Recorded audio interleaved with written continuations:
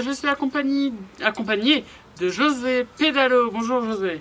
Oui, bonjour. Euh, surnommé euh, la pédale, hein, Voilà. pour euh, ceux qui me reconnaissent. Vous êtes un coureur du Tour de France cette année. Euh, tout à fait. Alors ça va faire, ça fait quoi de courir le Tour de France, le grand concours euh, mondial? Trop d'émotions. Euh, vous voyez, Jean-René, d'ailleurs, mais j'ai déjà récupéré mon maillot jaune, puisque cette année, c'est forcément moi qui vais gagner, les amis. Je me suis entraîné, euh, ça fait six ans que je pédale de fou dans toute la Bretagne. Donc, euh, Giuseppe, hashtag la pédale. Alors nous sommes euh, en entraînement là en ce moment. Intensif. Alors la France n'a pas gagné, vous savez, depuis 30 ans le Tour de France. C'est toujours un quelqu'un d'autre qui a J'étais gagné. j'ai- j'étais pas là, j'étais fatigué, les amis, désolé. Euh, pendant 30 ans, j'étais endormi. Mais je me suis réveillé. Et euh, j'ai entendu, on m'a dit, Josépé, faut que tu gagnes. Donc pédale. Est-ce que vous pensez qu'un Français peut gagner le Tour de France? Mais bien sûr, un Français euh, d'origine euh, espagnole, les amis, vous l'aurez compris, euh, franco-portugaise. Que pensez-vous d'une phrase qu'avait lancé un très grand coureur qui avait dit peut- que la France ne pouvait pas gagner sans se doper? Qu'est-ce que vous en pensez? Euh, je dirais que les vitamines euh, susnommées sont pas forcément euh, de la dopamine. Et euh, que pensez-vous de toutes ces histoires qui sortent en ce moment de dopage?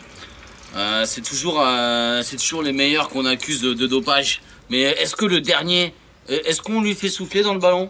Hein? Celui qui perd la course, il souffle pas? C'est pas normal ça. C'est pas normal que c'est les premiers qui soufflent. Moi je dis il y a un complot dans le cyclisme. est-ce que vous êtes déjà dopé, vous?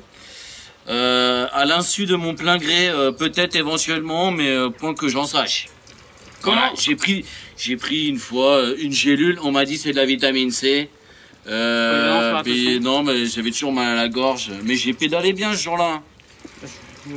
Comment vous vous êtes préparé pour ce Tour de France? Euh, le matin, euh, jambon beurre directement dans le café, euh, histoire d'avoir toutes les vitamines. Et puis les oranges, je les presse à main nue, Jean-René. Comme ça, ça vous fait les bras. Exactement. Pourquoi le Tour de France n'est-il pas un concours que pour le Fran- la France? Et pourquoi c'est ouvert au monde Mais Ah, parce que les amis, on a besoin de, on a besoin de s'ouvrir à l'international. Si avec que les Français, euh, ben, on gagnerait pas souvent déjà, hein. Et puis euh, c'est bien que tout le monde voit, tout le monde participe. Moi je pense qu'il faut participer, hein, même euh, dans l'univers.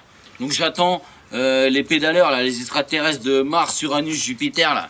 Vous venez tester le vélo, vous allez voir. Sur Terre, on sait pédaler. Et euh, alors, le Tour de France, normalement, devrait passer par la France. Pourquoi? Euh, C'est toujours ouvert. euh, on part toujours d'un pays hors de la France. Parce qu'il faut euh, pédaler hors de nos frontières, les amis. Il faut euh, vendre des VTT et des pneus Michelin un peu partout. Donc moi je soutiens le mouvement. Donc euh, hashtag la pédale.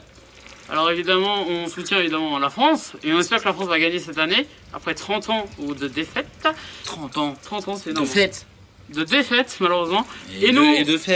Et nous on continue cette spéciale et un an et là on va faire la fête. Ah. Il n'y a aucun souci. Vous faites plaisir Jean. C'est parti pour la, suite des un an et vous pouvez suivre le Tour de France sur France Télévisions.